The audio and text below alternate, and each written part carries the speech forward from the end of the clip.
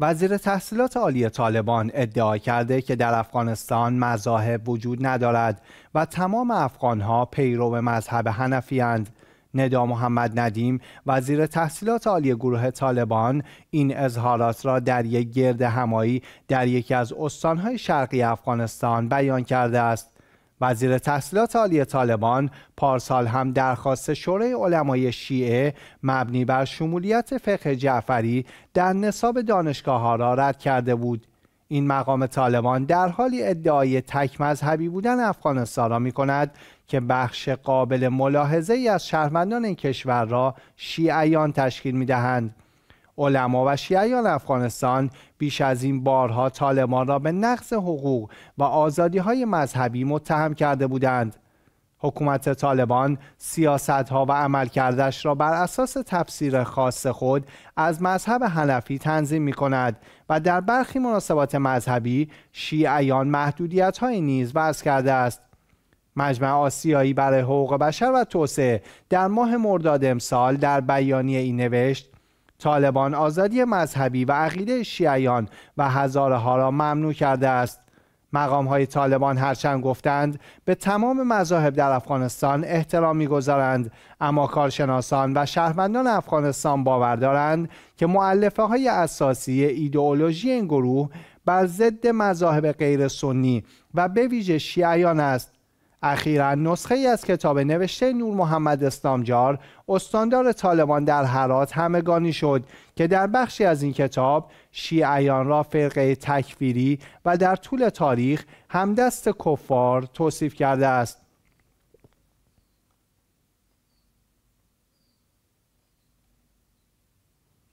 در این مورد همراه هستیم با مرتضی متحری کارشناس مسائل سیاسی از اسلام آباد. آقای متحری سلام و خوش اومدید. اظهارات تازه وزیر تحصیلات عالی طالبان در مورد انکار بخش بزرگی از جمعیت افغانستان بیانگر چیست؟ سلام و درود خدمت شما و خدمت برندگان شبکه جهانی ما حسین علیه السلام طالبان با دو دور قدرت و حاکمیتشان در افغانستان چه در دوره گذشته و چه در دوره اکنون. متاسفانه فشارهای سخت را بر مردم هزاره و شیعه افغانستان وست کرده و از هر راهی تلاش داره که هزاره ها و شیعه ها را در افغانستان حذف بکنه و از هر گونه حملاتی که بر مردم هزاره و شیعه افغانستان انجام دادن و از اونها حمایت کردن و هیچ راهی را دریغ ندادن که در برابر مردم هزاره و شیعه افغانستان انجام دادن. به شرایط فعلی وضعیت شیعه ها و هزارای افغانستان در افغانستان بسیار تاسف بار است. چون مقامات طالبا رهبرای طالبا مستقیما در برابر مردم هزاره و شیعه افغانستان بیانیه بسیار مستقیم را صادر می‌کنه و بسیار حکمای سنگین را در برابر مردم هزاره و شیعه افغانستان صادر کرده. ما در چند روز گذشته در ولایت بامیان شاهد بودیم که متاسفانه از مردم فقیر و به بزاعت بامیان از مردمی که به حدی اوضاع اقتصادیشان ضعیف است که در مغاره های کوهای بامیان زندگی می‌کنه اما طالبان از مردم بامیان به جبر بالای 200 میلیون و بالای دو میلیون چند صد هزار افغانی را جمع کردن که تای کمک را به مردم آسیب دیده هرات برسانه طبعا طالبان هر گونه جنایت در برابر مردم هزاره انجام می‌دهد. و هیچ گونه جنایت دریغ نمی کند بله. و گذشته از این موضوع متاسفانه در این روزا در کابل ما شاهد هستیم. طالبان از مردم فقیر و به بزاعت غرب کابل که دشت برچی است تمام مردمی که در این منطقه زندگی می‌کنن مردم هزاره و شیعه افغانستان است. کسایی هستند که از آب آشامیدنی محروم است در فصل زمستان سخت نداره خرج مخارج زندگی نداره. اما طالبان در روزا به جبر از مردم غرب کابل از هر خانواده مبلغ دو هزار افغانی که معادل سی دلار میشه از مردم غرب کابل به جبر جمع آوری می‌کنه که کمکار میگه ما به مهاجرین که از پاکستان برگشت کرده با اونا می‌دهیم. این نمونه باریز و آشکار است که طالبان در برابر مردم هزاره و شیعه افغانستان هر گونه جنایت و هر گونه حملات انجام می‌داد و هیچ گونه حملات دریغ نمی‌کنه. بله. آیا انکار و نفی پیروان فقه جعفری یک هدف و سیاست کلی گروه طالبان است؟ یکی از اهداف کلی و یا یکی از اهداف مهم طالبان در افغانستان از بین بردن و یا حذف کردن شیعه ها و هزاره در افغانستان است. طالبان در دوره حکومت قبلی افغانستان صدها حملات بر مردم هزاره و شیعه در افغانستان انجام دادند.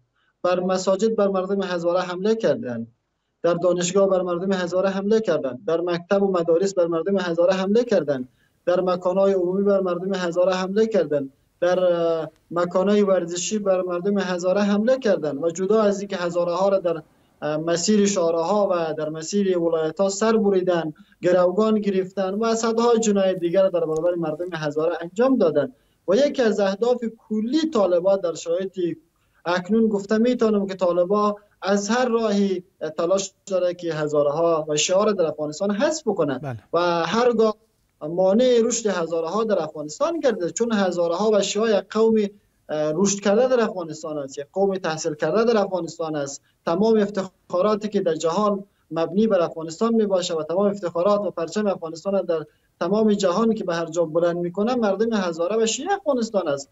دیگر بجز اقوام پشتون و دیگر اقوام افغانستان نه استعداد و نه توانایی و نه او ایده و اهداف آبادی افغانستان داره بله. آقای متحری تداوم فشار و سیاست حذف علیه شیعیان هزاره در افغانستان در کوتاه مدت و بلند مدت چه پیامدهایی در پی خواهد داشت؟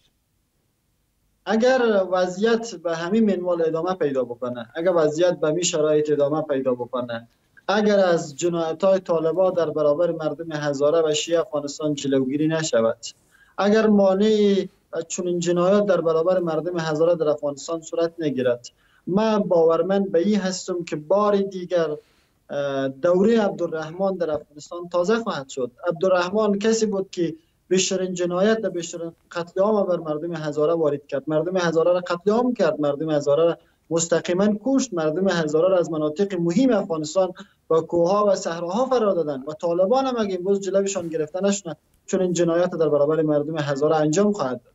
سپاسگزارم از شما مرتضی متحری کارشناس مسائل سیاسی از اسلام آباد.